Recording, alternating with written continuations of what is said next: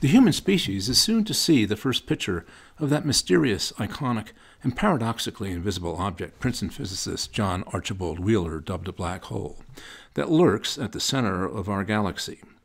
The Event Horizon Telescope is a virtual telescope the diameter of the Earth and has been pointing at the Milky Way supermassive black hole for the past several years. The Gates of Hell, the End of Space-Time, is the story of the Event Horizon Telescope's ongoing efforts to create a photograph of Sagittarius A, our Milky Way central black hole. When completed, the image will rival the famous Earthrise photo taken by Apollo 8 astronaut Bill Anders in 1968 and the pale blue dot photograph from Voyager 1 in 1990. But what will we actually see? We have an amazing preview from a vast distant galaxy, which I'll discuss below in a minute.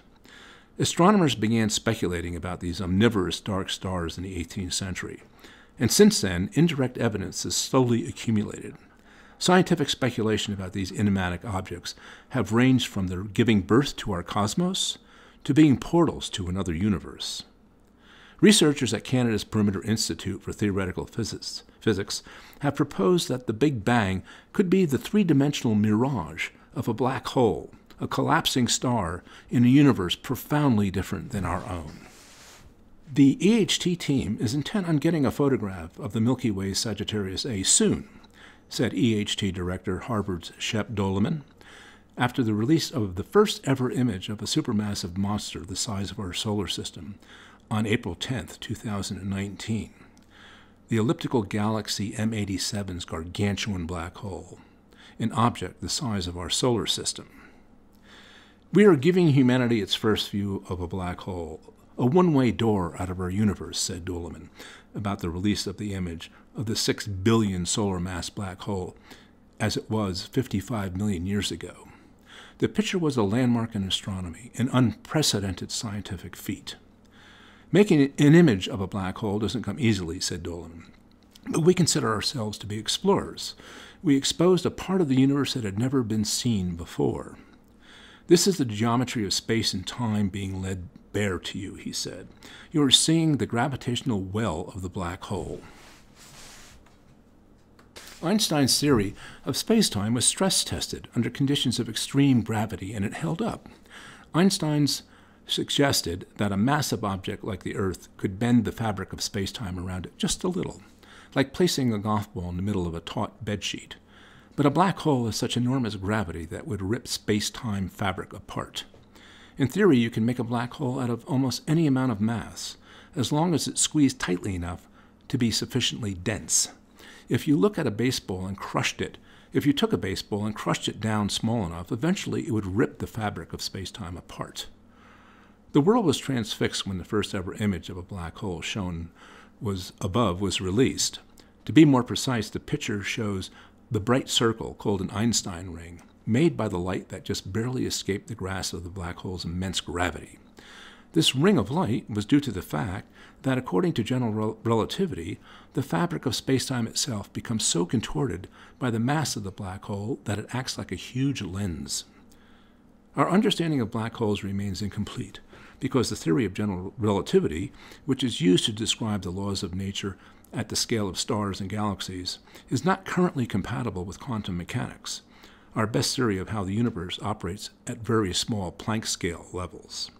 Since black holes, by definition, have a huge mass compressed into a tiny, infinitely tiny space, reconciling these wildly successful but so far conflicting theories are needed to understand them. The M87 image portrays the gates of hell, the end of space-time. Everything unfortunate enough to get close to it falls in and never emerges again, including light itself. It's the point at which every physical law of the known universe collapses. Perhaps it's the closest thing there is to hell. It's an abyss, a moment of oblivion. The now iconic image marked the culmination of years of work undertaken by a team of 200 scientists at 59 institutions across 18 countries. The EHT project drew on data collected by 10 telescopes from Hawaii to the South Pole, sprinkled across four continents, designed to span the cosmos in radio waves, creating the equivalent of a lens the size of planet Earth. a lens 4,000 times more powerful than the Hubble Space Telescope. Astrophysicist Janna Levin, author of The Black Hole Blues at Columbia University, observed that we are seeing the M87 black hole as it was 55 million years ago.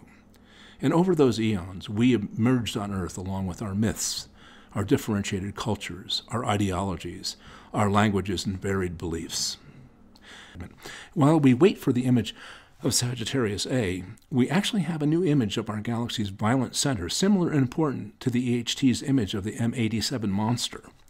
The image below shows the view of our galactic center from the Murchison Wide Field Array in Australia's outback, showing what our galaxy would look like if human eyes could see radio waves. The lowest frequencies are shown in red, middle frequencies in green, and the highest frequencies in blue. Huge golden filaments indicate enormous magnetic fields. Supernova remnants are visible as little spherical bubbles, and regions of massive star formation show up in blue. The supermassive hole at the center of our galaxy is hidden in the bright white region at the center of the image. The black hole was an object that was predicted to exist 100 years ago, said Andrew Strominger with Harvard's Black Hole Institute.